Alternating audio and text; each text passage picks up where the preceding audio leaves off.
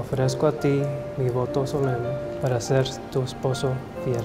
Prometo amarte incondicionalmente, honrarte y respetarte, proveer para ti y protegerte en enfermedad y en salud, en buenos tiempos y malos tiempos, en gozo también como en tristeza.